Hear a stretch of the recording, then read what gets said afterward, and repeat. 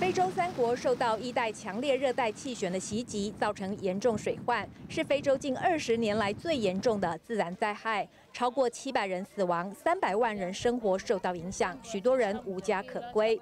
水源污染也造成霍乱等疫情扩散。慈济非洲地区志工紧急动员前往救援。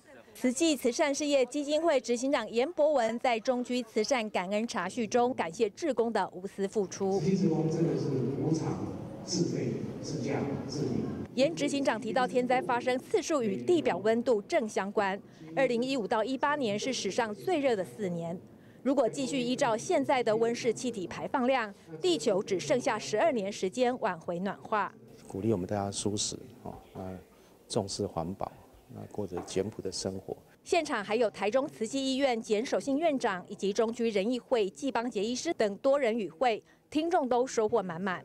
他用数据化又更浅显的，然后让我们了解到说，我们现在呃，对于说不是减少碳排放，而是根本就不要有这个碳排放。观念改变之后呢，很多事情都是在你的一念间。